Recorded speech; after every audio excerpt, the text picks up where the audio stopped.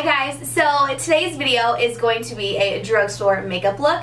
This is just a super simple step-by-step -step tutorial. Basically showing you guys how I do my brows, my blush, my contour, everything using drugstore products. You can add or minus things to accommodate you and what you want for the day, but this is just what I came up with. I think this is a great everyday look, something I would do for every day if you had the time of course. This is definitely not a running late look, but I've had a lot of requests to use more drugstore products in my videos, so I figured this would be a great way to kind of sit down and show you guys some products I've been really loving lately and they're all from the drugstore. So now that you guys know what the video is going to be about, it's time to introduce you to a new member of my little family. I'm so excited. I'm moving in two weeks and I know I probably shouldn't have got another dog right now, but I'm moving and I went to the pound because I saw her on Facebook. Her name is Rose. I'm about to show you guys.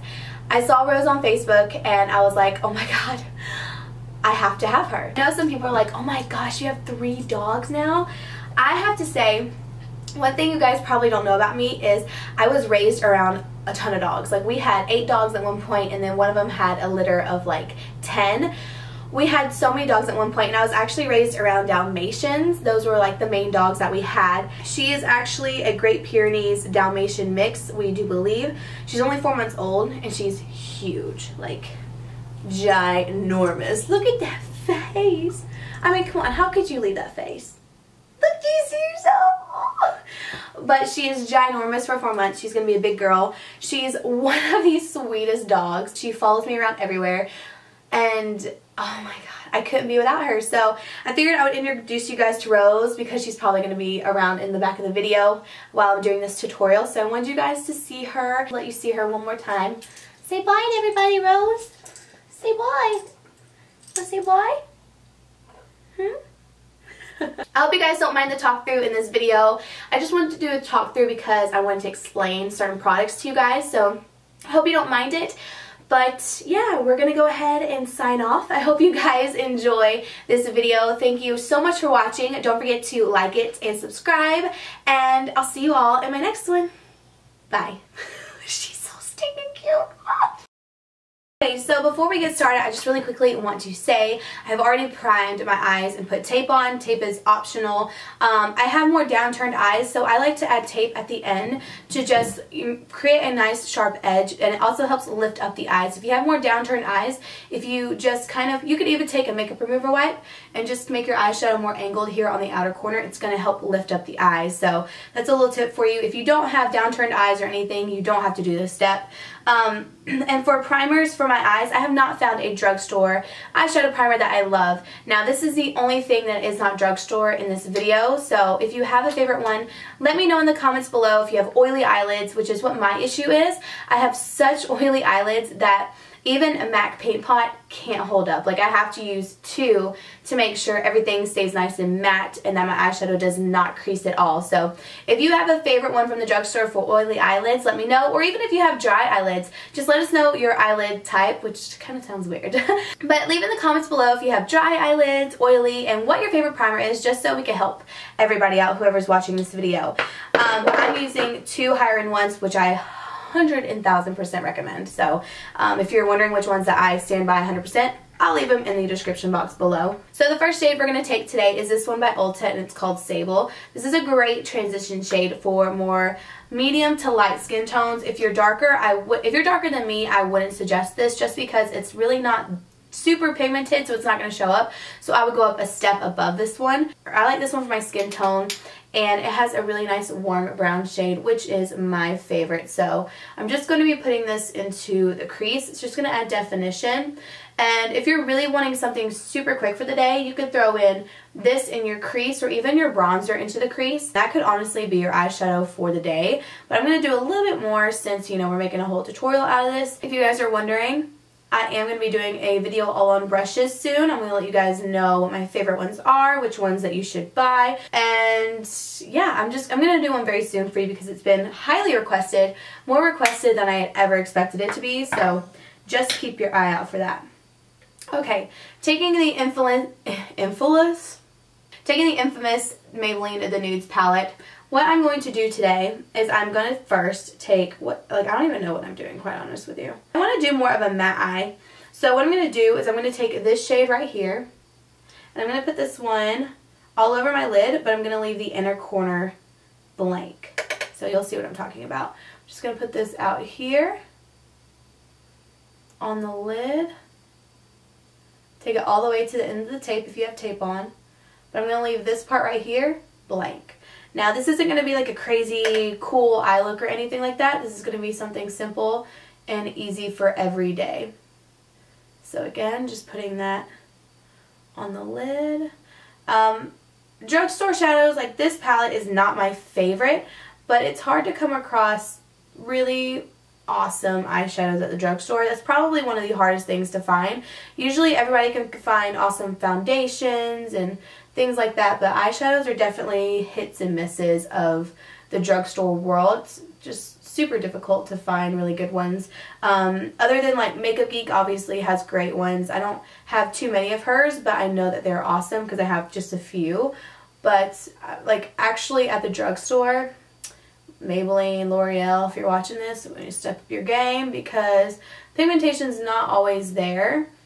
And sometimes they look a little choppy, so yeah. But this is actually a pretty decent palette. I give it that. So now what I'm going to do is I'm actually going to take this Maybelline Quad and Coral Oasis. These by far are the best eyeshadows for pigmentation at the drugstore. Like seriously, they're amazing. Only problem I have with them is a lot of them are just shimmer palettes and it's not very convenient for people who don't want a completely shimmery eye. Um, I'm personally not the type that loves just a full out shimmery eyelid. I think it's just a little too much for me. But if you want a shimmery eyeshadow, these are awesome. They have some that do have matte shades in them, but they're kind of hard to come by. I'm going to take this little shimmery shade in the Coral Oasis palette, and I'm going to put this in the inner corner right here. This is just going to really brighten everything up and make you look more awake. So we're just going to apply that in there. It's really pretty. Like these are so stinking pigmented. And blend out the edges of that. Because we just want it to help brighten up. Okay, now what I'm going to do, I'm going to take this shade right here with that same brush. I already started doing this. Um, I'm going to put it right here in the outer corner and a little bit into the crease. So just like this. It's just going to add a little bit more definition so I'm just going to put that right in there with that same brush. Not really being precise.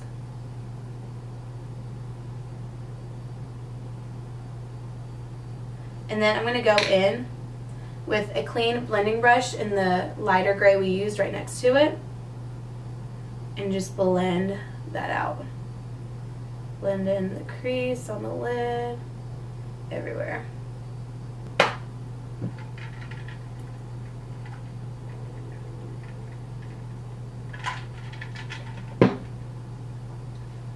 Now some people probably wouldn't want to do the gray on the outer half, but for me I just like that extra definition. Um, but for every day you could totally skip this if you wanted to. You don't have to do it. I'm the kind of person where I need a smoky eye in my life. Like I have to. I don't know what it is. I just love like lighter makeup looks are nice, but I really love a smoky eye. It just makes me so happy. Sounds so corny, but it really does. After taking off the tape, this is what you've got. It's just a really easy eye look, like so easy.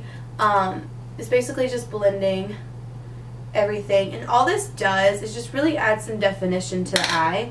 I am going to take a little bit more of that shimmer shade and put this in the inner part right here. And then for me, I like to line my upper lash line.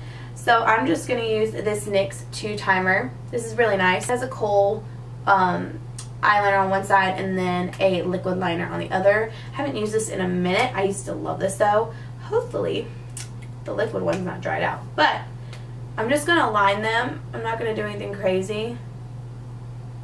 This is kind of dried out. Usually this is actually like very, very black, but mine's kind of dried out. So I really recommend this one, but right now I'm going to use the BH one, which BH Cosmetics is also very, very affordable. It's also personal preference on how thick you want your liner. You can do it however thick you want. Um, I, I, literally, what I do is I'm like, okay, I'm to do a thin line. And then I end up messing up. I'm like, okay, we're to go thick today. That's usually how liner goes for me. Then what I'm to do is I'm to take the kohl side of it, ooh, I'm to take the kohl side of this NYX liner and I'm just to line my upper waterline. This is to help darken up that lash line And so when you put mascara on, it makes your lashes look fuller and it just looks more complete. Like your makeup looks more put together when you line your upper lash line. So I'm just going to do that now. So today we're going to use a new mascara. Um, I just had these in my drawer and I really wanted to experiment. like I have a few from me just shopping and I just bought these. So we're going to experiment and see if these are good. If you wanted to, if you're like me and you just can't go without false lashes, girl, put false lashes on. I'm probably going to put some on after this video. I'm going to try out this Maybelline Lash Sensational one. It says a full fan effect, very black, waterproof. Oh, shoot. This is waterproof. I hate waterproof the hell. We're to use it anyways. One mascara I absolutely adore from the drugstore is the L'Oreal Voluminous Miss Manga. So good. But I wanted to try something different today. So I'll just have to get my good makeup remover out tonight. I like this packaging though. I think it's really cute. It's just like chic. I do love Maybelline the Rocket too. Ooh, the mascara is so good. I can work with it. Not bad. I actually like it. Good stuff. Good stuff. Okay, so now we got the eyes done. They're just nice and light, nothing too crazy. And um, the eyeshadows just aren't that pigmented, so they're not going to be like bam in your face like an Urban Decay eyeshadow palette would or Lorac. Moving on to primer. I haven't ever talked about this, but I've used it a couple times and I actually really like it. Doesn't necessarily focus on keeping you matte. This is the CoverGirl and Olay Simply Ages Ageless Serum Primer. And I've tried it a couple times and I really do like it. I think it makes my skin super smooth. And I don't know, I just like randomly picked it up one day and I was like, oh, okay. It's actually pretty decent. So it's a little bit thicker. Of course, that's like too much, but we're going to work with it. Um, it doesn't necessarily keep you matte. I just like how smooth it makes my face. So we're just going to apply that all over. And then on top of that, it does make my skin a little red though, so. But now I'm going to use the new foundations from L'Oreal. These are the Infallible Pro Matte 24 Hour Foundations. I like these. I like these a lot. It's been hard to find a good drugstore foundation that I'm just like, oh my gosh, I need this in my life. But I'm really, really loving these so far. I think they're great. So I'm going to apply mine with a kabuki brush, and this is in the color Fresh Beige. I think this one's going to match my self tanner best. I have Fresh Beige and Sun Beige. This one's pretty yellow, but with concealer and powder and everything we'll make it work. I think I would even like this with a beauty blender, to be quite honest with you. So it's definitely more of a medium coverage foundation. Like I have to go in with concealer, but I, I do really like it. I think it has a nice finish. It is a lightweight finish and it doesn't feel sticky on the skin like it dries really quickly. So I definitely recommend blending it in fairly quickly. Um, but I like it. For concealer, I kind of vary with concealers, especially from the drugstore, but today I'm going to actually be using the HD concealer from NYX. A really great spot concealer is this one from NYX as well. This is the Conceal Correct Contour Kit. Um, this is a dupe for the MAC Pro and Conceal palette, and literally an exact dupe. Um, the shades are just a little bit different, but but it's basically the same thing. You have the pink undertones on this side, the more yellow undertones on this side, and you can just experiment with it. And if you have a hard time finding like your perfect concealer, I highly recommend palettes like this because they're awesome. And you can also use them to contour and stuff, but I use them to mix and match, especially if I'm self-tanning. So I love them. But for underneath the eyes, I'm going to use this HD one from NYX. I think this one's a little light for me, but we're rolling with the punches here, people. And this is in the color beige. So I'm just going to take it and do a couple strokes underneath my eyes because this is going to highlight and just bring everything together. You don't have to do all of this since we are doing every day, but I like to highlight my face, especially if my foundation is a little too dark, because it'll just help lighten up the face and bring it all together. I'm going to blend that out with a beauty blender. See how it really lightens up the foundation? But it really brightens up the face and makes you look a lot more awake, which is really important. I feel like for makeup, for me, if I'm doing my makeup, I like to do do it all or nothing at all. Um, so I like to really make sure I highlight. Highlighting and contouring, all of that is like my favorite thing to do ever. Because it just really makes your face stand out. Cheekbones stand out. Everything just looks so much better when you do highlighting and contouring. So I'm just going to take my foundation brush and blend out the edges. Looking in the viewfinder to see how it looks. Not too shabby. Great concealer though. I used to hate this concealer. And then I started to love it. And I like to take this concealer in the inner corners of my eyes because they get really dark right in here. So I just tap it in there and it really helps bring it all together. Then I'm also, just for my personal preference, I am going to take it on my nose. Where did I put it? Nose is a little bit bigger and I like to highlight the center of it just to really make it slender out. So that's a tip if you have more of a wide nose like I do. This will really help bring out the center of the nose and just help it make it look a little bit smaller. I've been doing this forever now and I just, I cannot do my makeup without doing the center of my nose. To set my under eyes and my concealer, I don't really set my face anymore. Um, it's just not something that I do all the time. I usually just blot my face if I'm out and about. But to set my concealer, I'm going to use this one from Wet n Wild. It's the Take On The Day Mattifying Powder. I don't apply a lot of this. I'm sorry, I'm trying to find my brush. I applied just a little bit to set that concealer because you want to make sure you set everything so it does not crease. And this is a translucent powder, so it's not going to add any coverage. It's just going to set that makeup. And I really like it. I've actually been using this for a while, even just to blot my skin. This is the BH Cosmetics Bombshell Bronze Bronzer. I used to use one um, from NYC. It was the darkest bronzer that they had. It's amazing. Definitely, definitely, definitely get it. I can't find it. I think it expired and I threw it away, to be quite honest with you. But I'm going to use this one from BH Cosmetics. Like I've said before, they are more affordable. Um, they're just online, but they're more affordable. This is in the shade Diva. And I'm going to put this on the high points of my face. I told you guys I really like to bronze, contour. That's like my, my favorite thing about makeup is working with the face and bring out your features with makeup. And it's just all about techniques and what you know and where you place product. So just to me it's so fascinating for face. I don't know. I am going to add a little bit of more definition just underneath my cheekbones. I'm going to do a little bit of contouring because I like for my cheekbones to kind of stand out more. Um, a great one for that is this NYX Blush in Taupe and I just like this a lot. It's just a nice ashy color and it's great to put underneath the cheekbone and it just really makes everything pop. Like if you were to use more of a warm tone bronzer it doesn't look as natural as the more ashy tones because ashy color is going to give more of that shadow which is obviously going to look more natural than having a warm bronzer just stuck in the contour line. So that's why I really like this one. It's awesome and it blends really really well and it just looks so natural. So I'm just going to place this in my contour area and blend it a little bit upwards and you can see the difference right there that it makes. And it's not like super super noticeable. It's just adding a little bit more definition and really lifts up that cheekbone. By far the best thing to contour with in my opinion um, at the drugstore.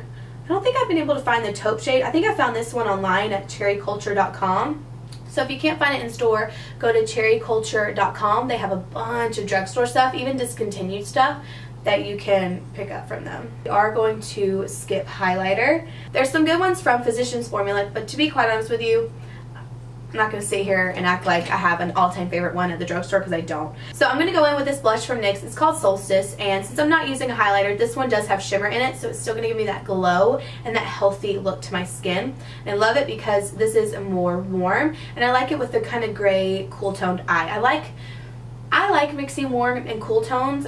I just think it's fun. I don't know. It's makeup. You got to do it if you don't want to do it. You can use a cool tone blush if you want to, but I just like more warm. So I'm going to just apply this to my cheeks and you can see it just kind of warms up the skin. It's a really pretty kind of peachy bronze shade and I love it. Oh, I love that color. And then I'm going to take a duo fiber brush and just blend that out. Now for eyebrows, I'm going to be using this NYX eyebrow gel. I really like this a lot. This came out not too long ago, I believe. Um, but this is what I'm going to be using today for my eyebrows because I just really like it. It is more of a gel, so when you put it on your brows, you kind of have to work quickly with it and you want to make sure you kind of hurry up and fill in your brows because it does set fairly fast. But once it sets, like it's there. It's not going anywhere. It's just to keep your brow hairs in place all day. Um, the color I'm using is chocolate, by the way. It's a little bit more of a lighter brown, more ashy as well. You are just a jangalangin, honey. Those little collars. This is just such an easy product to work with. Like, I love this so much. Probably the best drugstore. Definitely the best drugstore brow product out there. So that's one brow done. Brows seriously make a makeup look. Like it is insane. But I don't know what it is. I feel like I can get them done pretty quickly now. Um, and I love the way that they look. It's just, I don't know. Maybe I've gotten used to doing my brows. They used to take me forever. If I When I used the Anastasia Brow Wiz, it literally took me years to fill in my eyebrows, I feel like. Now what we're going to do is just set our brows in place. I'm using this. You don't have to do this step because the NYX Brow Gel does a really good job, but um, I'm just going to do it today. This is the L'Oreal Brow Stylist Plumper in, ooh, honey, medium to dark. You know, they put this thing like microscopic down here. You can't ever tell the colors. So I'm just going to run this through my brows really quickly. Finishing up these eyes, I'm going to take the kohl side again from this NYX liner. And I'm just going to line my waterline. I'm going to take a flat brush like this. I don't know why I'm showing you on the nose. But I'm going to take this brush and I'm going to take the darker shade in here, like this darker gray right here. I'm going to put this close to my lash line if possible. This is going to help just define that bottom lash line a little bit more. I'm going to connect this to the shadow on the outer half as well. Just to kind of bring it all in. Hello, train. Then I'm going to go in with the lighter shade right next to it that we used all over the lid. I'm just going to blend this out just so there's not like a harsh line underneath there. Now me personally, I like smoking out my lower lash line. Um, I just, I like it. I don't know. Feel free to not do it. Um, but now I'm going to take the cream shade right here. And I'm going to put this underneath my brows just to, again, highlight. So I'm going to take that. It is a matte shade, so I like that for this look. Just love me a matte brow bone highlight. I need lashes in my life. Okay, I'm going to quickly apply lashes. I'm using these from Ardell. They're the Glamour Wispies. I'll be right back. So you can see lashes just kind of make everything ba ba boom. I'm a ba ba boom kind of person. I just had to make it happen. So I'm taking this tawny, taking this lip liner from Jordana called Tawny. I'm going to line my lips with this. It makes them look fuller and it also helps keep your lip product on for a lot longer. And it also helps to keep it from like feathering outside the lines. After that I'm going to apply one of my favorite lipsticks of all times. This is the Wet n Wild Fergie Daily Lipstick. It's just a nude very nude. And then to kind of deepen it up, I'm going to take this L'Oreal Paris Nude Ballet. I really love this one. This is a great little lip gloss and I love the applicator. So this is the full face using drugstore makeup. I really hope you guys liked it. It was just super requested and I wanted to do it for you. Um, there's not like a specific technique or anything. I just figured I would show you guys some products that I love and show you that you can get a full face with drugstore products. So hope you guys enjoyed this. Please give it a thumbs up if you did like it and I will see you all in my next video. Bye! gave me a chance, I would take it. It's a shot in the dark, but I'll make it. Knowing that I know how you can't shake me when I am with you. There's no place I'd rather be.